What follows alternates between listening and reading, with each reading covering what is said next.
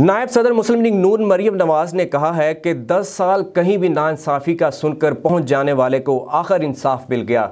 उनका जुर्म सिर्फ़ नवाज़ शरीफ की वफा निकला।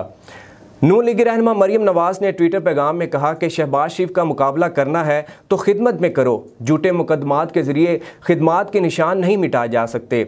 जितनी मरतबा भी शहबाज शरीफ साहब को गिरफ़्तार किया, उनका जुर्म सिर्फ़ वफा नवाज़ शरीफ निकला। वाज रहे कि लाहौर हाईकोर्ट ने मनी लॉन्ड्रिंग केस में अपोजिशन लीडर शहबाज शरीफ की आज जमानत मंजूर की है।